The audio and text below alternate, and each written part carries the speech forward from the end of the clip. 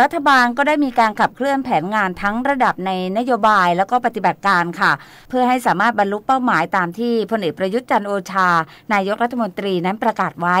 ระหว่างการเข้าประชุมกรอบอนุสัญญาสหประชาชาติ ว่าด้วยการเปลี่ยนแปลงสภาพภูมิอากาศ ที่ประเทศไทยนั้นจะบรรลุเป้าหมายความเป็นกลางทางคาร์บอนนะคะภายในปี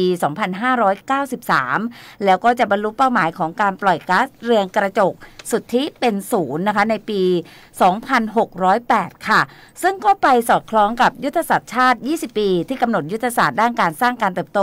บนคุณภาพชีวิตที่เป็นมิตรต่อสิ่งแวดล้อม แต่ว่าล่าสุดค่ะ คุณผู้ฟังคะที่ประชุมคณะรัฐมนตรีนั้นมีการเห็นชอบ ตามที่กระทรวงทรัพยากรธรรมชาติและสิ่งแวดล้อมเสนอ ให้ภาคเอกชนนั้น เข้าไปทำประโยชน์ในพื้นที่ป่าไม้ เพื่อปลูกสร้างสวนป่าตามกฎหมาย แล้วก็ระเบียบที่เกี่ยวข้อง ซึ่งก็เป็นการเพิ่มพื้นที่ป่านะคะ แล้วก็ควบคู่กับการฟื้นฟูทรัพยากรธรรมชาติที่อยู่ในพื้นที่เสื่อมโทรมเพื่อลดความเสียหายจากภัยธรรมชาติ แล้วก็ผลกระทบจากการเปลี่ยนแปลง สภาพภูมิอากาศในระยะยาวด้วยสำหรับการที่ให้ภาคประชาชน